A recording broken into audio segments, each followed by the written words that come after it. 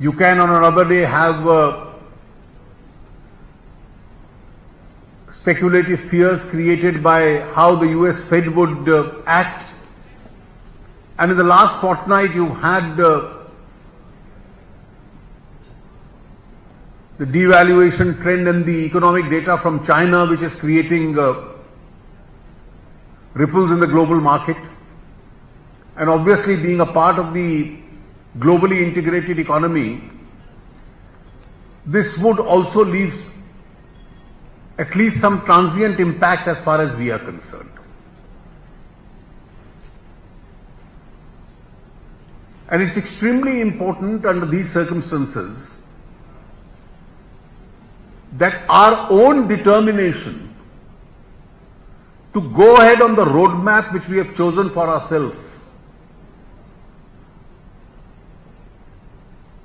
further gets strengthened. And the capacity of each one of us to meet these challenges which are not created by domestic factors but by external factors, our response really has to be to strengthen our own economy. And that is the endeavor in the recent past which governments have been making.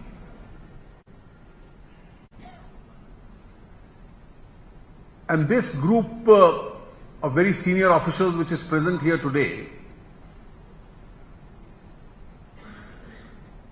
has a great challenging task ahead of it.